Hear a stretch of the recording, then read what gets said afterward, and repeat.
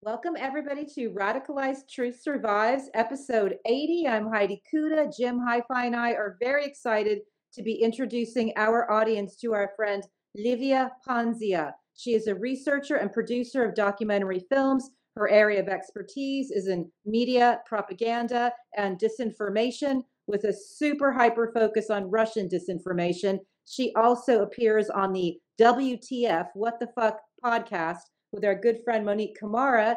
She also infiltrated QAnon in Europe in the early days, and she's going to bring us information about the many stages of QAnon. Livia Ponzio, we are so happy to have you with us today. I often say RadPod's superhero power is the fact that we are networked globally with experts such as yourself who really understand the stakes of what's happening. And before we jump into your work understanding the origin story of QAnon and how it's been weaponized with hundred year old tropes. I'd like to ask you about a breaking news story out of Italy uh, that a pro Putin conference is being held. There was a lot of uproar about uh, Best Western hosting some of these Putinists and the fact that uh, Alexander Dugin is going to be zoomed in has people globally up in arms. Can you talk a little bit about that? Sure. Hi, everybody. I'm so happy to be here. And let me tell you, I follow you for the longest time. You're doing an excellent job. I'm just like um, so happy that you asked me over on Radpod. So Alexander Dugin, Alexander Dugin, um, who has a special. Let's start saying that Alexander Dugin is not new in Italy. He has a special relationship with with Italy. Um, he has been like a lot on Italian national TV, talk shows, the talk shows of, of the kind that you also see on some of your American all news channels, like Fox News, for instance. But um, at this very moment, there is a renewed effort of the Russian propaganda machine. And by renewed effort, I mean renewed um, uh, injections of resources uh, particularly on the Italian territory. The Italian territory is a territory that is like very permeated uh, by Russian propaganda. So there is a tour of Alexander Dugin uh, in Italy in January, in the next, uh, let's say, a few days, by the end of January. He will be on, for instance, the 20th of January in Modena. Then he will be uh, hosted by the Best Western Hotel, as you said, in Lucca. Um, and there are like a, a few, let's say, other events always held by this Italian, um, let's say, Russian network, right? So why is it important to stop Alexander Dugin in Italy? Because at, at this point of the war, the narrative in Europe and especially in Italy is that there is Ukraine fatigue.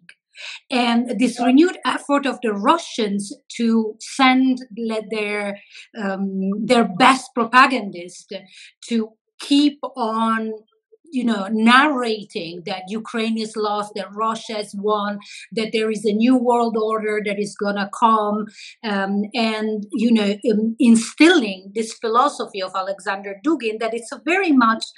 Um, also has very much to do with the, the with the uh, um, you know this this like rewriting also of religion that we know through QAnon. It's quite important. There are a few groups in Italy that they have like um, that they have started protesting. Um, among them, there is a, a event, a parallel event on the 20th of January in Modena. Um, to say to the basically to the local administrations that um, you know that we don't want Russian propagandists on our territory. What is worrying is that this Dugin tour has found the, the support of the local administrations in Italy, of the municipality of Modena, the municipality of Lucca. And the latest news is that the, the mayor of Modena, at least, um, is canceling the support to the Dugin event in Modena. Nothing has been heard yet about Lucca.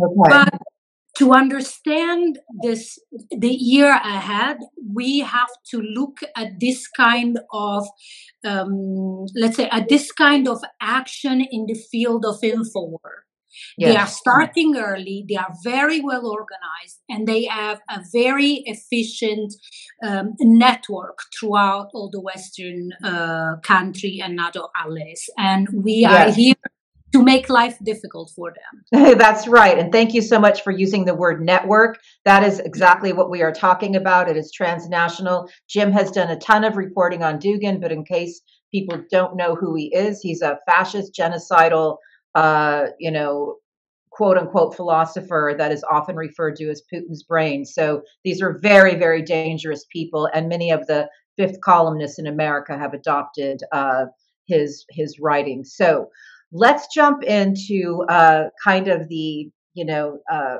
most important. I wanted to I wanted yes. to just follow up on that if I could for a second. Please. Um, uh, it, in that in that conference briefly before, um, there's a the there's a fellow named uh, Vigano, I believe, who is yeah. uh, going to be joining. And in general, um, you know, there's a there is an underlying religious sort of subversion that's going on here. Um, and, and, and I think you know uh, people recall in 2019 there was a plan for Bannon to set up a, a fascist camp, and Vigano was involved, and and Cardinal Burke and a bunch of these kind of Christo-fascist Americans yeah. and and their allies. I just wanted to hear you talk a little bit about kind of how how the the the church and and you know uh, is pushing back on this if if they are, um, because it seems like that's really the front line of this. Yes. Right. Sure. So um, the the let's say the bigger story around Dugin being so comfortable in Italy, as I told you, this is yet the the the umpteen time that he finds welcoming you know support in Italy through the institutions is that there is a let's say there is a i don't know how to call it i want to call it an alliance but i'm, I'm not sure it's the right term but there there is this crossing you know mm, this crossing of in Italy, because we have the Vatican uh, within our territory, there is a crossing within uh, religion, um, politics, far right. They are very involved in this kind of uh, operation. Far right politicians, far right groups uh, the far right, let's say, wing of the Vatican, that before the war, actually, in Ro- the, the, invasion of Ukraine, uh, the far right group of uh, Cardinale Burke, uh, Burke, and, and Monsignor Vigano, um, they were pretty much waging war t- towards this pope but now that war seems to be tamed a little bit after the invasion, the Russian invasion of Ukraine. So, what is going on right now, right now in the Vatican?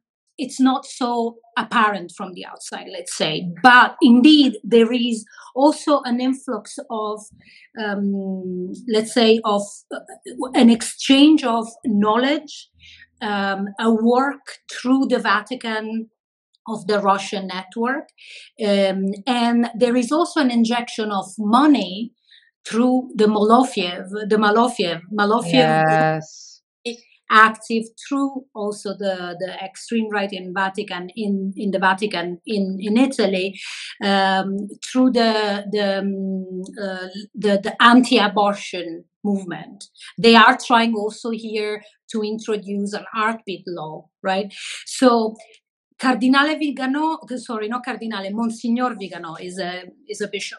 Monsignor Vigano has been pretty much put on the on the um, not outed, but pretty much put it, put on the side of the the uh, uh, Catholic Church, Roman Church community, because during the pandemic he was like, you know, he's, he's just QAnon now. I yes. mean, he really yeah. like it's almost indistinguishable. It's not almost. It is QAnon. I mean, he's talking yeah. about wow. pizza group by name. He's like talking about the darkest sort of, you know, most despicable um, conspiracy theories. Yeah. Also, one bit of good news is that the Pope uh, just took away uh, uh, Burke's subsidized Yeah. apartment, and Yeah. uh, so now his rent went up five times. Uh, Yeah. So uh, good, good job, Pope. yeah, yeah, yeah. Well, he, he also he also went after Opus Dei, right? They Mm-hmm. had a little Yeah. bit of a slap on the wrist, and he also went after the uh, Sovereign Knights of- Knights of Malta. The, the Order of Yeah. Malta was a Yeah. big, yeah. was more But of a problem. He, he people realize. knows, he Yeah. knows, but I don't think he's being harsh enough. I think he needs to be a little harsher. Well, I think he is to he is to be. Uh, uh, he might be harsher, but he also has to be careful. Those people are not, you know, are not joking. Um, No. Yeah. they are dead dangerous for an Yeah. old aging pope, and that's Ah. you know. I'm throwing that in the mix, but the, the I, am appreciative of his blessing of same-sex marriage. Uh, I'm I'm seeing things that uh, where he's making bold statements to basically let people know that he's not part of this uh, encroaching fascist network, or certainly he's pushing back against it. So, Yeah. um, but But but I But at the same time, it's kind of like controversial because some people say it's not been ha- um, hard enough on Yeah. condemning Russia. So, I mean, the Vatican a is mixed always bag. Oh, but yeah, but Yeah. the thing, what, what is interesting, and I'm re- really glad that you, uh, I find that you brought up, uh, or was uh, Jim that brought up this topic, is that um, also the pa- this passage of what's going on now on the far right of the church, the Dugins, the the Viganos, the Burke, it's very remindful of how the um, Third Reich interacted with the Catholic Roman Catholic Church back in the days. They are like yeah, there are like so many similarities because also back in the days, and this also brings us back to QAnon, is is the back in the days what happened is that the Cat- Roman Catholic Church initially embraced Nazi fascism because um, Hitler po- like put himself at the center of the church effort to reunify the, the Catholics and the Protestants, right? So Hitler was very Po- much Positive Christianity, right? The, yeah, exactly. Yeah. Exactly. Positive Christianity came later. Positive Christianity, let's say, is more the QAnon of that time, right? But Right, at right. the very begin, at the very beginning, uh, Hitler knew really well the work of Martin Luther. Uh, it, it is said, uh, some you know, some people that some historians say that he took his anti-Semitism from Luther directly, right? So he became immediately very close to the Protestants. And when the, the Third Reich opened up also to the Roman Catholic Church, similarly of what is happening now with this the network far right um, global network uh, including russia with russia at the helm um, they they opened up to the roman catholic church saying hey guys we are the people that are gonna mediate between you and and uh, and um, and the protestants Yeah. right so there was a lot of support just like now there was a lot of support coming from the roman catholic church to the uh, third reich to the rise of the third reich to the third reich party. Of course that that then let's say took a different form. The plan was was not helping you know roman catholic church to uh, reunite let's say with the with the protestants.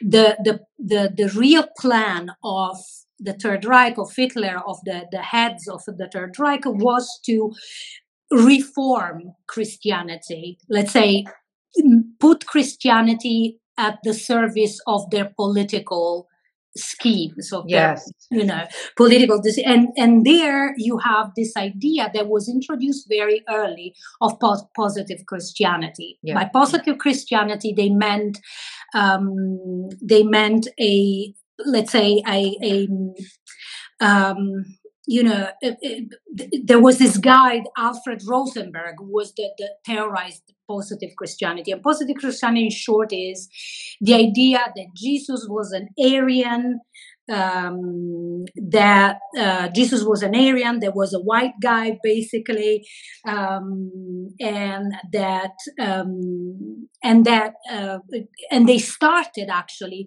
to have their own rituals, very much like our friends in QAnons, right? Yes. like General Flynn in this Great Awakening too, when he does these prayers.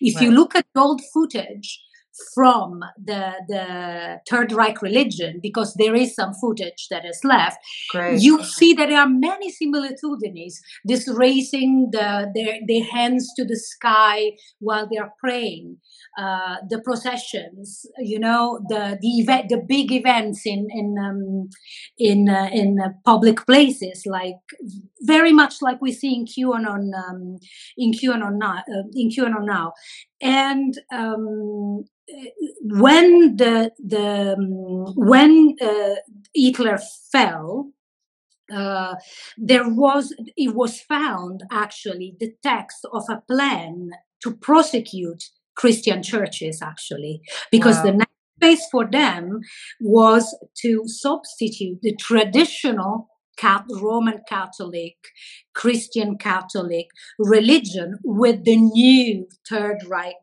religion. They wanted to appropriate the Catholic rituals and um, and they wanted to transform the Christian churches in, in a in a new religion that just echoed the the the the old Christian beliefs. And now, Jim, you can tell me if that doesn't remind you very much of what you're seeing in your Yes. studies of what General Flynn is doing, right? Yes, yes, yes. Absolutely. It also um, it also is a it's it it reminds me also that the Catholic Church did a lot of helping of the Nazis escape um, from from Germany. Um, Yeah. You know, which is just a an indication of how sort of corrupt and and dark um, you know that whole situation was. Um, also, just because they're an interest of mine, the Order of Malta was uh, very involved in communications with Hitler. Um, you know, uh, all the way through the war. Yeah. Um, the the church backed away a little bit um, during the war, but um, you know they just like now there's this whole right wing. Um, uh, uh, you know, it's sort of like the the cult wing of the of the church, right? Um, that's been Yeah. there for a long time. Um, that does a lot of these sort of dark operations and communications with, um, you know, bad guys around the world. So, uh, you know, my, my, my hope is that, that this Pope is a, is a more moral Pope than Pius the Twelfth, I believe it was uh, in, in World War II. Yeah.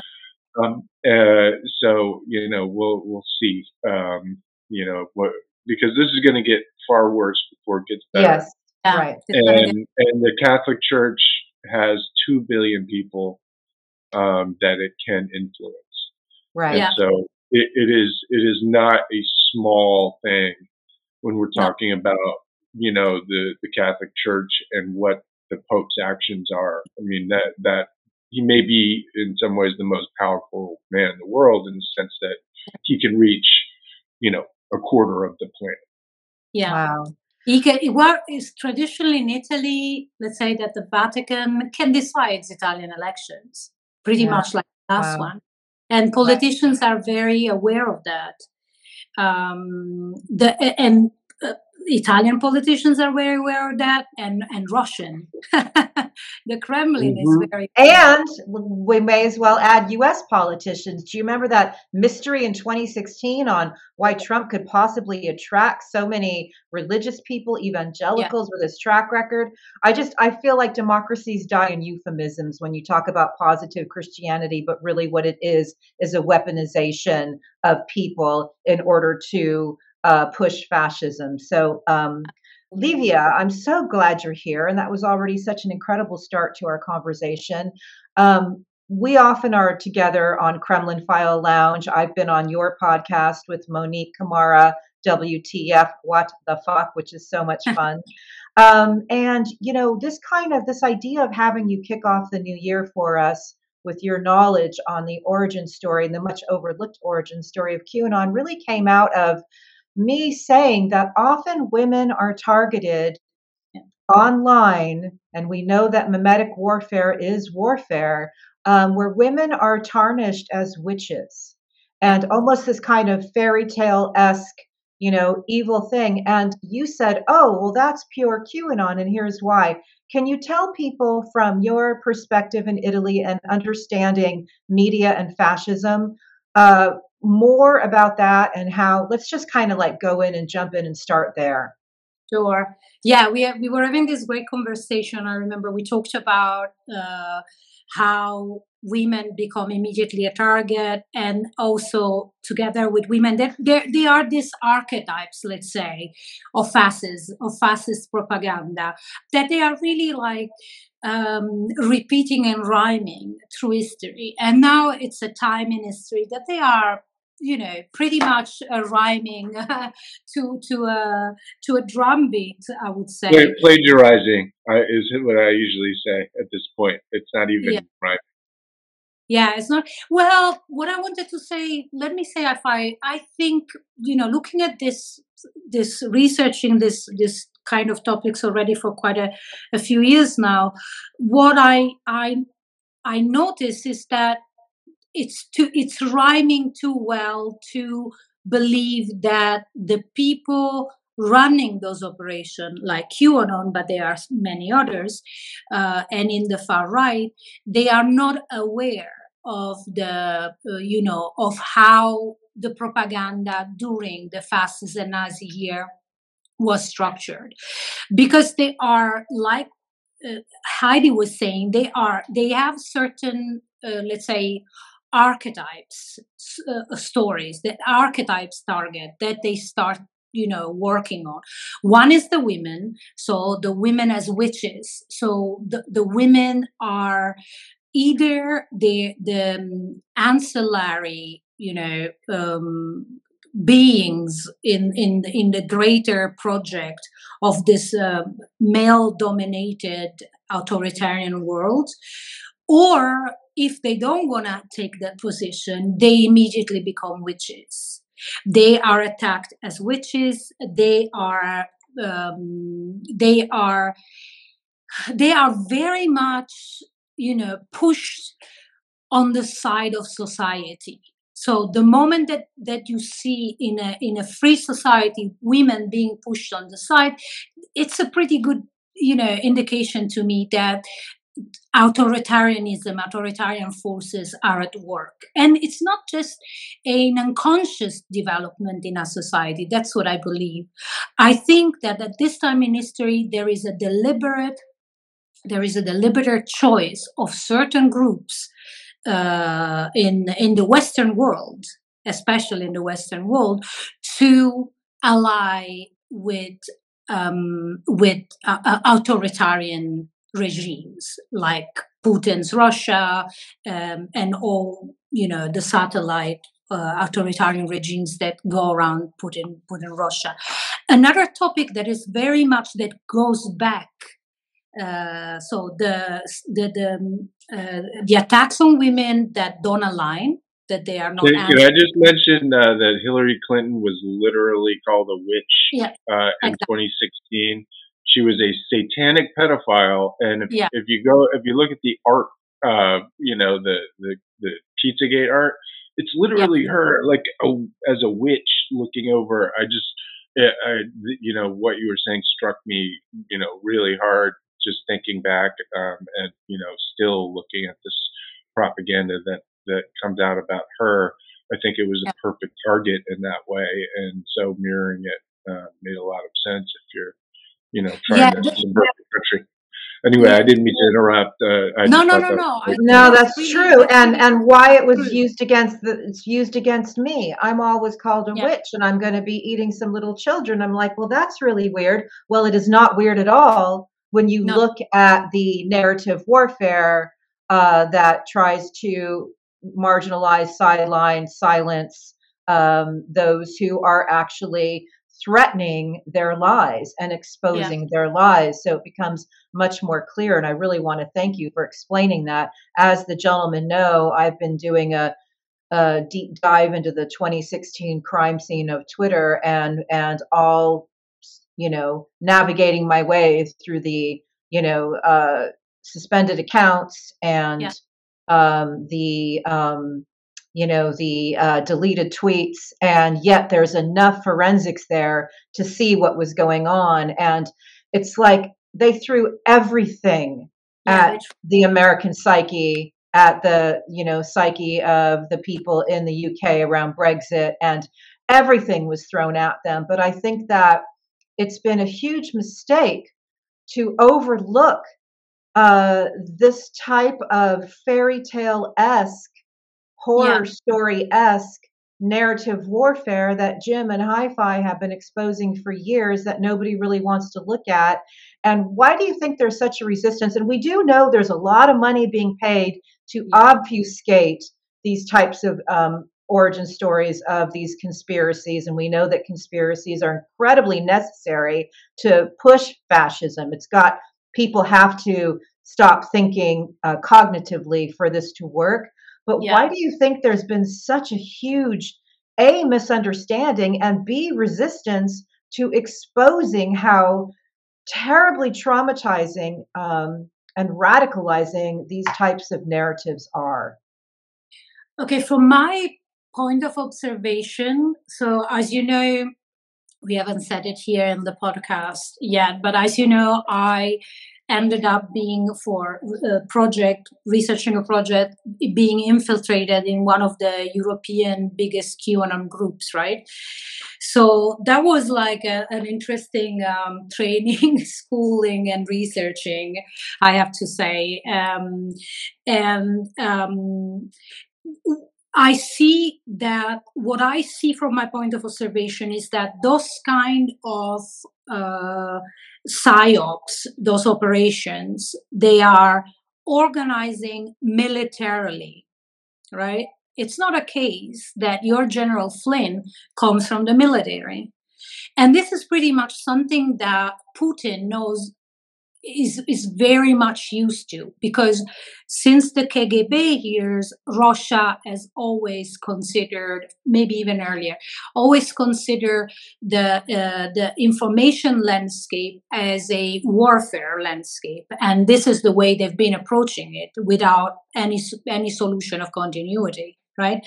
So, how do they approach this kind of warfare that we are completely oblivious of not anymore after the pandemic but we are still pretty much behind in in you know uh, in having the, the the the full consciousness of of this being a warfare, right?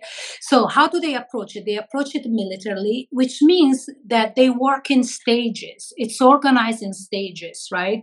So, for the next stage of the operation to be successful, you have to erase the trace of what went wrong in the, the stage that preceded it right? You or you you you you know you you uh, bring to an end um, a, a, military operation in info warfare, and then that chapter is closed, and you have to go on and you know implement on what you have achieved in the in the previous stage. So also QAnon has gone through stages, and this is what I see pretty much also like right now with the Dugin, you know, with all these events organized in Italy.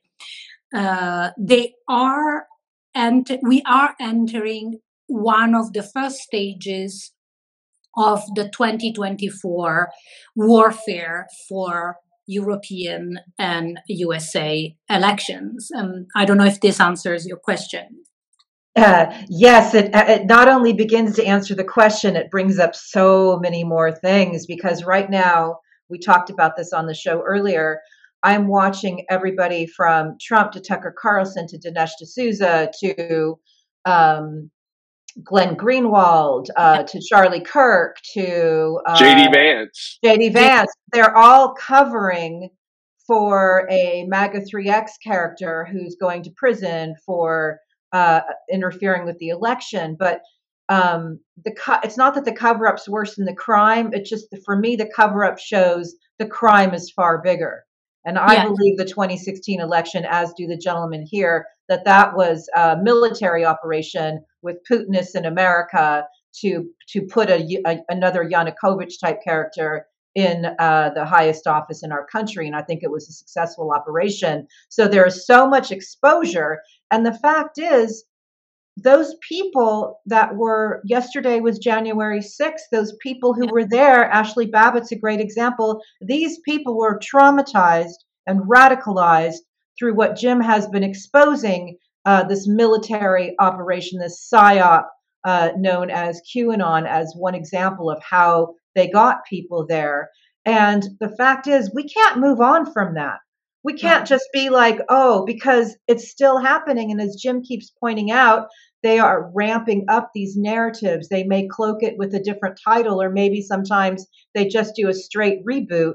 But this all originates with stolen GRU uh, documents, and then uh, and then it you know is sort of expanded from there. But to not see this as soldiers instructed by generals to plant this material and to hack people's minds is to uh, be completely you know derelict. And I believe our government may not want to look at this because to look at any of it is to say what a massive failure has occurred here and is occurring. uh, I wanted to tell, like, what Heidi was saying brought to mind something that really struck me. Uh, right before in the QAnon group I was infiltrating, like right before the 2020 election, some weeks, not more than two or three months before, the European groups they were actually uh, openly while organizing you know the great awakening the great you know what happened on january 6th at the capitol hill in plain sight on their social media on facebook. It was all you, you know it was all there. And so much so that i always wonder how the fbi couldn't see it i could see it and i'm a regular person from europe but anyway I, I was screaming about it in detail how it was going to Yeah. unfold a week before, tagging everybody that Yeah. I could possibly tag, and I sent tips. Um, Yeah. They, they, it, there's a there's a whole thing about you know uh, the stand down around January sixth. yeah But listen, the European group, and that's also important because not many have. Con- there's a lot of talking about the American QAnon, rightly so, but there is a European QAnon that it was particularly let's say um, active and crucial also in the in the so-called pastel qanon phase right? And in this group as i was telling you they they were the leaders of this group one of which i knew personally from before. That's how i infiltrated so well from a dutch um, you know from, from when i was in holland and uh, they were openly saying mike flynn is our general. The the um, the order comes from from mike flynn. And what he says we do we follow mike flynn. He is our general. And what happened was i was in the in the core group that directly communicated with mike flynn but i believe that they from things i was told in the group and from you know various clues. I believe that they there was the the leaders the close leaders group in this qanon big european cell. They had meetings online meetings directly with Flynn because a couple of times some of these people say we have told this Flynn, Flynn wants us to say and do this.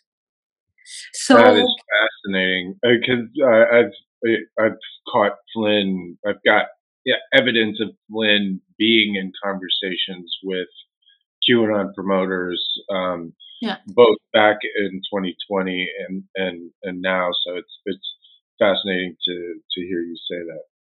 yeah, Um, so one one one thing I wanted to mention is that during his Reawaken tour, at the very beginning, um, his tour promoter says, "quote uh, Jesus, what we believe is Jesus is king, Donald Trump is our president, and Mike Flynn is America's general. Yeah. That I mean that those are the first words of every one of his tour events, um, which I think is a remarkable thing to say about yourself, right? And backs up everything you're talking about. Apologies for interrupting. Yeah. So no, no, but it's great. I mean, there is there is let's say there is a let's say it, it's it's a military structure uh, I could feel in the group I was infiltrated in that there were orders coming from above, and uh, according to what orders were given uh, at certain stages of the, you know, leading up to the 2020 election, the the the focus was shifted on, you know, certain topics or other topics, right? Um, so, and at one point, that's also interesting because I think that was done purposely. Uh, at one point, they, the group I was in, they left a mass Facebook. They all went to Rumble. And it seems to me that there was a uh, there was a you know coordinated uh, effort to move them all out of facebook and have them on a more friendly platform and this to me has been also useful to in understanding very early on what was going on with musk and twitter they needed a bigger more comprehensive platform uh, to work on from uh, for the 2024 election cycle in Europe. My feeling is also that America, for them, in their you know, in their I don't know how to call them, like in, in their idea of how to subvert the, the global order, Strategy. America is the first step. They have a plan also in Europe. That's why you see the the all these events Dugin events in Italy and all this effort. Because but by effort I mean you know uh, human resources uh, money. Because those operations cost money. They are not just something that is online. I know that people tend to think anything that is going on online it doesn't it doesn't have a, a, you know it doesn't cost anything to produce. But think only how many videos, how many fake documentaries have been produced both in 2020 and today. May, I mean, I've been, Heidi knows it too. Like, I've been, you know, working on film financing. Making these films cost money. So there is a parallel effort of, uh, of the same networks, overlapping networks, far right, Catholic far right, uh, Russians, and so on and so on, that they overlap and they they they bring this effort both parallelly in Europe and in the USA. Yes. And as long as we are not looking from, you know, from this like wider angle, the situation, yeah. we will always run in circle in our own countries you know predicaments. Thank you for that and hi-fi i know you have something i want to say. One quick statement and hi-fi you jump in. For me from the very beginning jim said what is always not there in these qanon uh, groups that what's what's always not there is any criticism of putin. Yeah. And he said that was like one of the most astonishing things. Well what's happened all these years later this this same these same groups that have been radicalized with all of these lies are anti uh, helping Ukraine. And yeah. I don't I don't think that those two things are not related. And I just wanted to state that uh, because that to me is like when you talk about military strategy, my understanding of how uh, the Russian military and their intelligence works, they have their objective and they start working four steps back. And unfortunately, in America, as in Europe, there are too many fucking allies uh, willing and ready to facilitate that work for them. Hi fi. So, one thing I know for sure that happened is that uh, Italy fined Facebook over Cambridge Analytica. Yeah. In 2019, right? Okay. Yeah. So I'm a big picture solution kind of guy, and I'm trying to figure out this strategy. And here's what I have, and you tell me if this looks like what you've seen in Europe. One, we have the data collection, right? Two, we have the data analysis Yeah. leading to social media targeting of people, right? We know they created these oceans profiles, these psychographic profiles with Cambridge Analytica. Three, they have an organization of teams through reputation management firms or uh, private intelligence firms to run these social media operations. All right. Then we have the inflation of influencers through artificial followers, bots, things like that. And because of that fake interaction, they manipulate social media algorithms to put them into people's feeds, specifically people that are being targeted by these oceans profiles. All right. Yeah. Then they generate their information slash narrative warfare. This leads to the recruitment of what are colloquially known as useful idiots, right? Yeah. Then they execute their operations using the idiots and the teams. And this leads to the radicalization of their followers. Does this sound like what you've seen? Yeah, it sounds very familiar, and um, it sounds very familiar, especially if we do a, spa- a, a, a- concerning Italy. I mean, we do a step back because before Ca- Cambridge Analytica in Italy, we had the rise of Casaleggio, Robert, Gian Roberto Casaleggio, and then his son Davide Casaleggio, who are the people that pretty much funded the, the Five Star Movement. I don't know if you heard about it which is this movement that has been as becoming a political entity that um, is now represented by Conte, who has been even prime minister.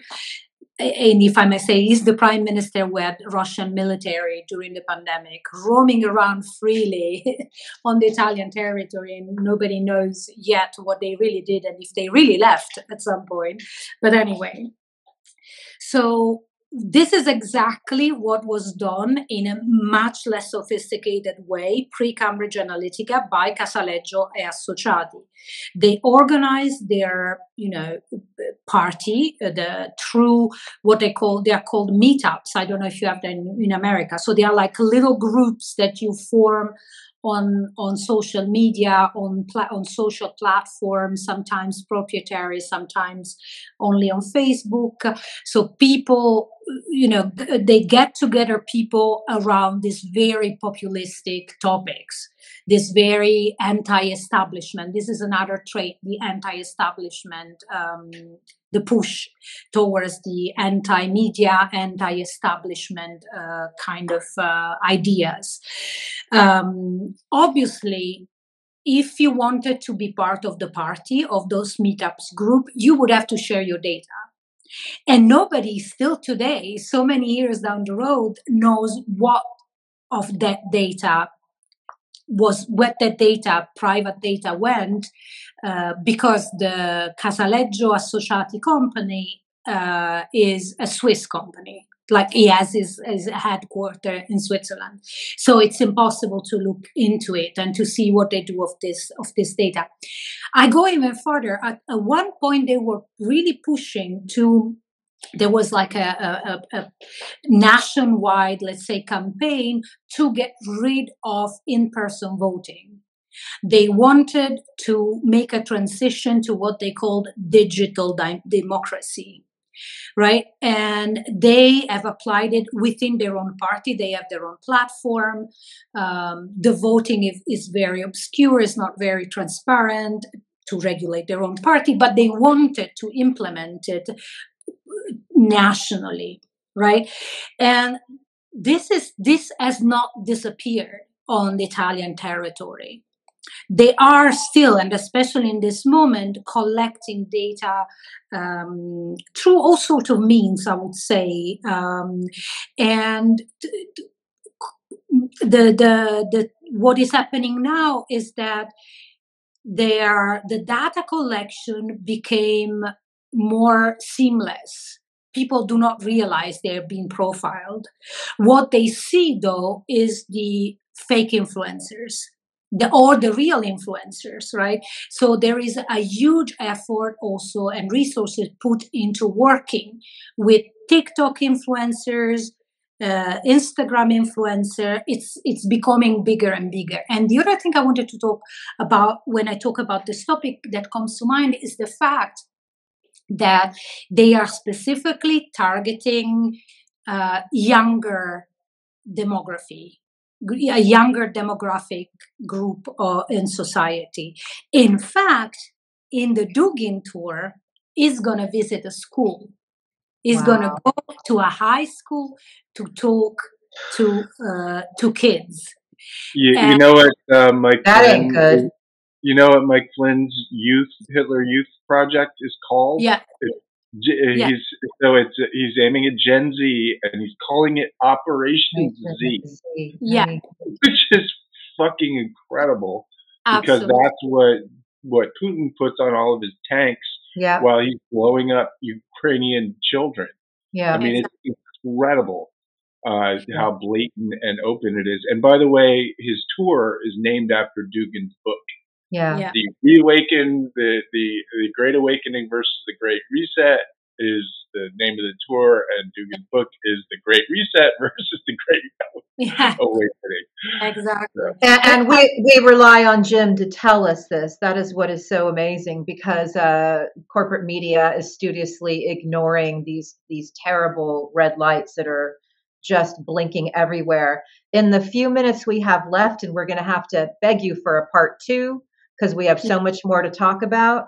Um, yeah. I have two quick things for you, sort of in our lightning round here. One of them is what is the, and one thing I want to say is when you're describing all of this mind hacking that goes on related to this global conspiracy effort, QAnon being among them, what we have here in America then is the coordinated uh, Putinists, uh, extremist GOP members who then collectively promote those lies, collectively cover yeah. up, collectively say, oh, there were hostages at January 6th. So when you talk about the mass network and mass coordination, we are we are seeing it uh, cranked up to 11 in America at the moment, and in 2024 it is just so dangerous. Um, yeah. Two two things for you. One, what is the most um, horrifying and also important thing that you saw infiltrating QAnon um, in uh, Europe? So the worst things they were not all the way. I, I, was there for about two and a half, three years, and in that period, I saw it going from um, pretty much a multi-user dungeon, like the old multi-user dungeon kind of games, right? Where they were searching for clues. Uh, they were talking about, even laughing about their their you know uh, conspirationist clues that they saw in movies in pop culture. And but then i in in 2020 when the pandemic hit there was a really fast turn to radicalization. And in that group which was pretty big eh? i'm talking about hundreds of people.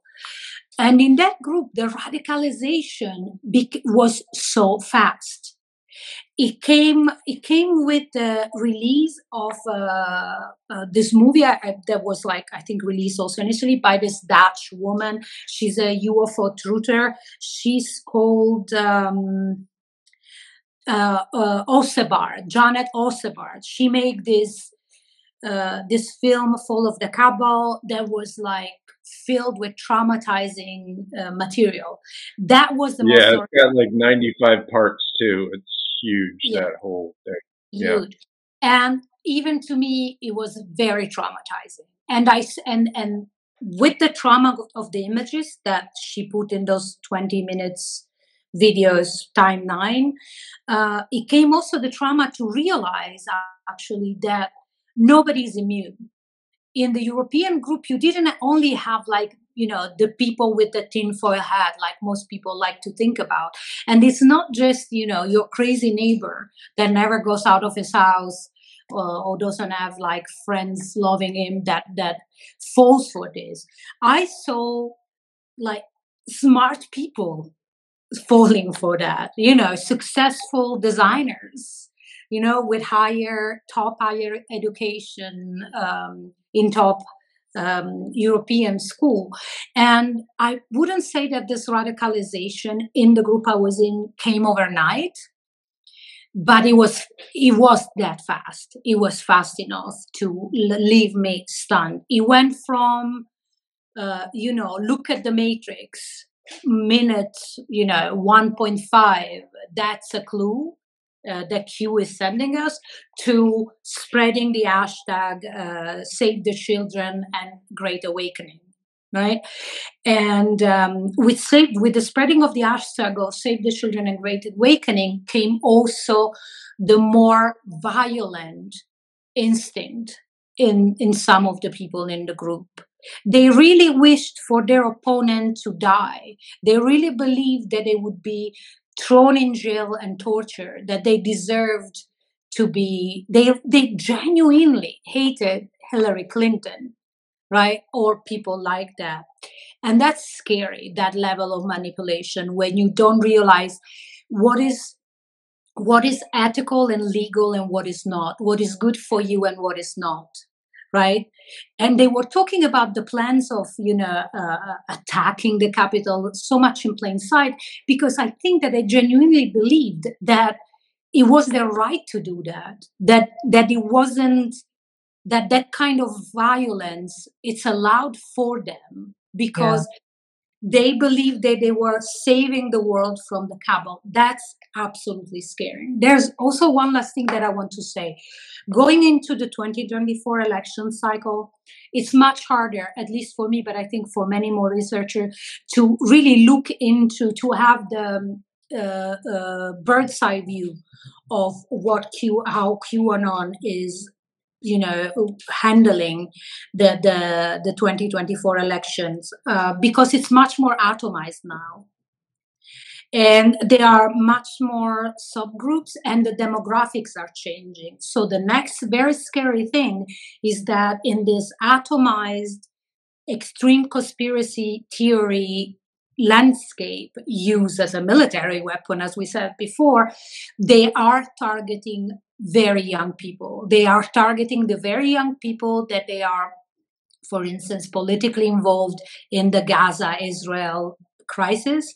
They are uh, uh, targeting the very extremely young people active in the gaming community. And those people are very young. Eh? They are like 12 years old, 13 years old, right? That is something which should, uh, that is a, a field that we should not leave uh, uh, empty. We should not leave unpresided, right? Yeah, undefended. I mean, we're leaving it undefended right now. And that are, was... any lawmakers aware of this? Are yeah. any lawmakers in Italy like? Do they know Roblox is a hotbed of neo Nazis? Do they know that? Well, I have to tell you, we with a few colleagues, we are doing uh, like together also with Monique uh, and our podcast that we had. We are doing uh, a very, a very hard job. Sometimes frustrating, sometimes depressing. Into pushing forward this uh, this. Um, uh, this discourse also into political circle. And I have to say, with the Dugin problem in Italy, there are now certain parties that they are like national level parties that they have come out openly against the Dugin uh, book tour. It's not a book tour, the Dugin tour. Yeah. Uh, like Azione, which is a, a center left party led by a former minister. Um, there are the, the uh, you know there are some political groups that they now understand that it's a, a very serious question. Yeah, it's a it's a, it's very serious to take seriously this kind of problems. Okay, so you know we're talking about Italian parties, Italian political parties going against uh, you know, Dugin, but then you have Italian politicians like here we see Matteo Salvini wearing a Putin shirt at, at an EU function. Like, I, do people not realize what's going on? I, I'm confused. Yeah. yeah. Okay. So Matteo Salvini is a, uh, is a whole new story. The picture you're talking about, he was not the only one wearing the Putin shirt um, uh, at the European Parliament. Actually, next to him, there was this guy called uh, Fontana, his family name, and who is now the number three in the line of su- succession of the Italian government wow. is our the equivalent of your house speaker and who's also the guy who wrote wow. a book in Italian on the great replacement theory talking about very old wow. conspiracy theories the Ta- Salvini's party but it's not the only party in Italy I you know, Salvini's party has been carrying water for Putin for ages already. Um, there have been also investigations uh, into their the financial dealings. Um, now it's too long to talk about it, but it's quite important what went on there. Um, the fact is that they were actually Dugin was brought for the first time to Italy by Salvini's party by wow. La Lega back in the days. It's a very long time ago. So what what this makes me think of always is that even though he's doing this in plain sight, right? Um, and do and people do understand it. You know, most Italians are, are are not stupid. Let me tell you. Yeah. But even though the the the slow process, the slow democratic process, allows for these people to stay in their positions of power for way too long and it's i think it's a thing that you're experiencing now Absolutely. the hard way also in america because all the organizers of the january 6th uh, insurrection are still free yeah. if i'm not wrong right you're not wrong you're not wrong yeah and uh, similarly in italy we have salvini who wears a putin shirt in the european parliament still being a minister so I don't say that the democratic process is wrong, but it needs certainly, uh, you know, some reflection, some some thinking. Um, an upgrade, as Hi-Fi really would say, an, an, upgrade. Yeah. So one last thing for me, and then Jim, I want you to bring us home. Um, what what do you expect the extreme conspiracism operations and propaganda impacts will be in light of the 2024 elections if we do not have some high level arrests and we do not defend um, our people from these types of operations do you just have like a, a quick thought there yeah well, okay I, I was just in the in the united states. I'm just back from the united states. And what i've seen on both legacy media and social media has me worrying very much. There is um, is not so much what I see now is not so much about the proper pushing back because you know people are more aware both in Europe and the United States of what disinformation is, what disinformation does, and you guys are doing a great job on telling people that for the longest time. But it's more about the framing in the you know in the wake of the 2020 election towards the 2024 election this russian disinformation disinformation operation in general have become more sophisticated way more sophisticated. And it's very hard. We have seen it in the israel gaza situation. Too long to talk about it now. But um, it's very hard to you know to distinguish for lay people now and i fear that in that confusion the bad actor to have uh, could have a win we have to relentlessly challenge uh, their narratives and, and their structures, but at the same time, we don't have to play their game. I think is quite important. And not playing the game means also don't get lost in the sense of uh, endless outrage that those kind of like, um, you know, those kind of like uh, stunts, I don't know how to call them, disinformation stunts um, are put in our, you know, social and legacy media. It's happening in America every day. It's happening in Euros as well, less less frequently. Um, we have if we want to win this we don't have to play by the rules. And we have to realize that uh, truth is a very rare currency going towards like sharp truths are a very rare currency going on social media and legacy media going towards the 2024 election. We have to be smart we have to be sharp and uh, hopefully because we are more than they are they they seem to be a lot because they shout really loud but we are more people. We are like a larger crowd of people. Hopefully we will have it uh, we will have we will win this uh, incredible battle that i don't is i don't see anything i haven't seen anything similar even even thought it possible when i was studying um, the the nazi propaganda to ever come back in uh, uh in reality. But um, we are at that point. We have to meet the moment, and I'm sure that we will be able to meet the moment if we keep up the good work and we make the rules of the game and not follow their rules of the game. Wow, Livia, that was brilliant, Jim. Um, yeah, thank you. Uh, you've you've said so many uh, things that have have just made me feel sane, and I want to uh, I want to thank you uh, just for for your time and all of your your work. Um, for me, I think there's a there is a fundamental sort of hidden thing uh, in America, which is you know we're we there's an enemy.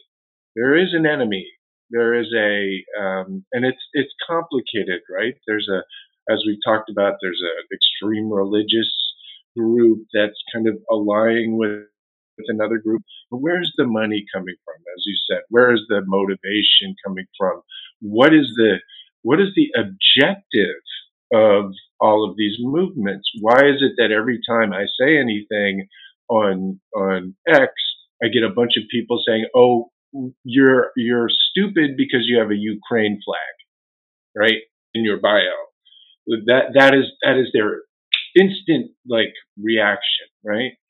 Yeah. How how can we collectively as a as a globe, right? Because it's not just America, as we've been talking about for an hour. As a globe, come to terms with the fact that we have a common en- enemy and that we need to unite against him, no matter what our our personal um, sort of beliefs are. Doesn't matter. For for me, if there's a a dictator raging across Europe, um, murdering civilians, um, that should be a red alarm fire for everyone. And then you come what he's doing inside of our countries by all of this infiltration um, you know, uh, I, I'm, I'm searching for some wisdom on how we can kind of unite around that theme. Does that make sense? Yeah. yeah, it does totally make sense. We have to find, you know, democracy, uh, Western democracy, I think it was so good to our society that we have become lazy, mm-hmm. probably. Mm-hmm. And um, because we have lived through uh, you know, uh, post World War II, and you know, even through the Cold War years, we have lived through prosperous times, right? Mm-hmm. Where the, the democracy is not perfect, let's say that, but mm-hmm. where all in all we have a good life, we could make a good living. So we, I think, we have to shake off that laziness and realize that um, our way of life may come to an end. It's really it's a it's a an existential threat. Yes. And whereas the far right and the, the extreme conspiracionists and the Russians they want to push our existential fears day in and day, yes. day out nuclear bomb and this and that you know and, and, and the obsession with the children which we didn't talk enough, but we should also talk about the obsession of these groups with children. Um, it, those are all manufactured, yeah. let's say, manufacture existential you know threats and crises the real existential threat is that in a very hard historical conjunction, we may we may lose our way of living for ourselves, yeah. for the future generations. And you know, I see it as just like my grandfathers fought to liberate Italy from fascism. Now is our time to find common ground, to get out there, meaning our social media feed uh, or you know public events or whatever, or simply going into the voting. The, the, the ballot box, you know, putting your vote into the ballot box. We have to believe deeply that even if we feel we are alone, our voice counts. Our individual voices counts. Our individual votes counts, um, and we can make a difference. We can keep you know keep this way of life as long as we can and for the next generations if we meet this moment and if we meet this moment together right yeah as jim said like you know grouping around you know common ground so mm-hmm. let's i would say let's lose less time into feeling outrage and mm-hmm. spend more time into creating uh, this common ground for us to work on. They are afraid of us. They wouldn't invest this much money if they wouldn't be afraid. Of and course. this much efforts right? You know what i mean? Yes. Yes so, because they're because they're liars it shows how powerful narrative warfare is, but it also is hopeful to know that when we expose it and take some of the mystery out of it, that we get back to reality and we get into action and we fight and defend what is rightfully ours, which is our precious democracies globally. Oh, Livia, thank you so incredibly much for being here with us today. You've taken us on a very, um, you know, gnarly journey, but you've also given us uh, action steps on how we can control the outcome of this. And uh, a lot of it is just by people understanding that we do have much more power, and the people who are liars do fear those who tell the truth. So thank you so very much. You rule. Thank I, you, I just want to say, I just want to say, Livia, uh, as a way of goodbye, bella ciao. Bella ciao. Bella ciao forever. Bella, Bella ciao, just like 80 years ago.